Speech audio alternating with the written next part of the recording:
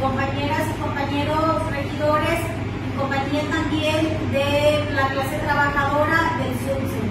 A continuación vamos a abordar algunos temas que el día de hoy nos apena eh, tener que hacerlos público y hacerlos de su conocimiento, pero ante la situación no nos han dejado eh, otra alternativa.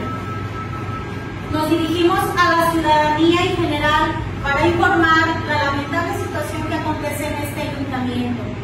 Hoy la base trabajadora se encuentra sin poder llevar el sustento a sus familias, ya que el pasado 13 de septiembre se debió dispersar el pago ya devengado de las y los trabajadores de este ayuntamiento. A un día de culminar la administración, no se realizó el pago de la primera quincena, misma que ya estaba presupuestada, recurso que sabemos llegó a las finanzas de este ayuntamiento. Las y los regidores aquí presentes hemos estado dando seguimiento y gestionando para que se libere el recurso a la base trabajadora y no obtuvimos respuesta. Por lo que mediante este medio invitamos al presidente municipal, Luis Alfonso Galván Cermeño, para que dé instrucciones y se realice el pago correspondiente.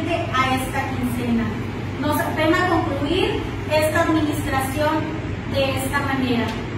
La, que tiene el uso de la voz es la regidora Carla Peña, me acompañan mis compañeras regidoras, quien a continuación también les harán de su conocimiento eh, las gestiones que hemos realizado para este y otro tema.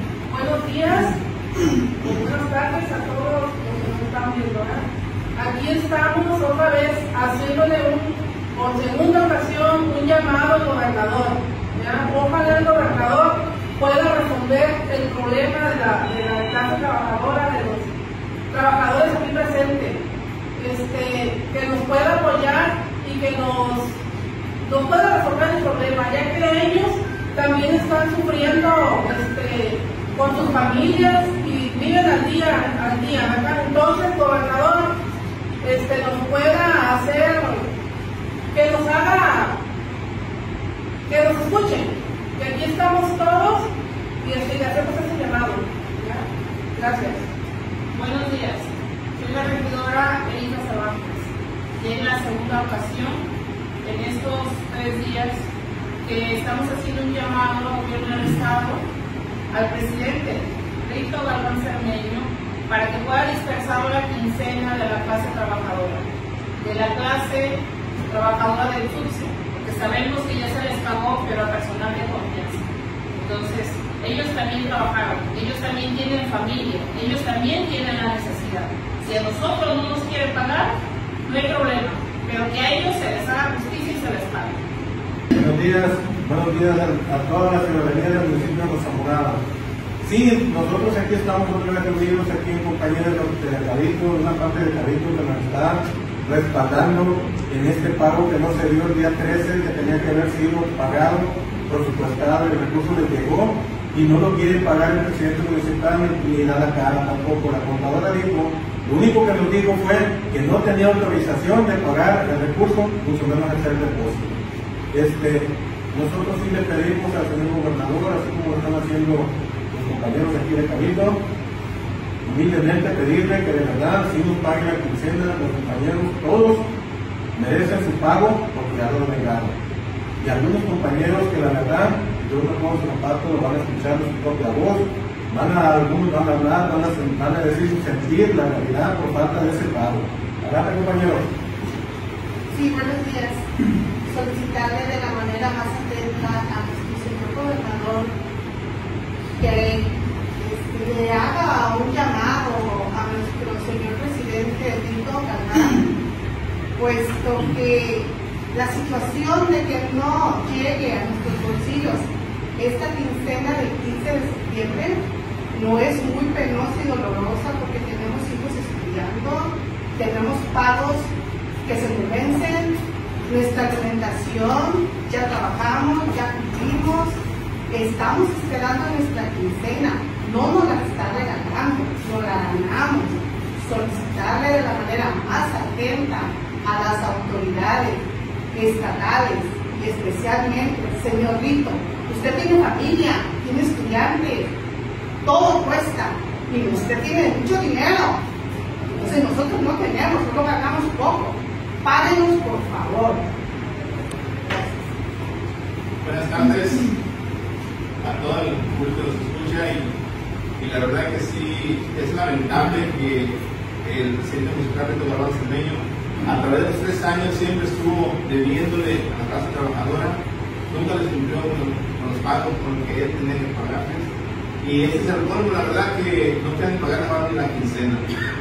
Es pues ahora sí no, no tiene nombre, no tiene nombre cómo se le puede decir a esto porque pues la gente trabaja con necesidad en cualquier ámbito, a esta gente que trabaja aquí en el Ayuntamiento de Seguridad se le debe, no se le toca quincena, y pues pedimos al gobierno del Estado que nos eche la mano para que este, el día de hoy, pues no queda el día de hoy para resolver ese problema de, del pago de la quincena. Ya mañana ya no va a poder hacer el pago y se va a poner mucho más difícil para que ellos recuperen su dinero. Eh, ha habido muchísimos problemas en este ayuntamiento que siempre estuvimos diciéndoles por, por escrito a las dependencias estatales y aquí mismo del municipio. Sabemos que muchas anomalías que hubo las, las denunciamos en su momento, como obras inconclusas, obras aquí en el municipio, como maquinaria que la verdad no, no saben dónde se encuentra la maquinaria. Siempre le pedimos información y nunca la dio. De los estados financieros, de la nómina, nunca dio información y siempre estuvimos nosotros diciéndole eh, que estaba mal, pero al revés, enojados le decíamos eso, incluso en la sesión de cabildo le decíamos. Pero ahorita el tema es que se les pague, se les pague a los trabajadores porque es su derecho y necesitan su dinero.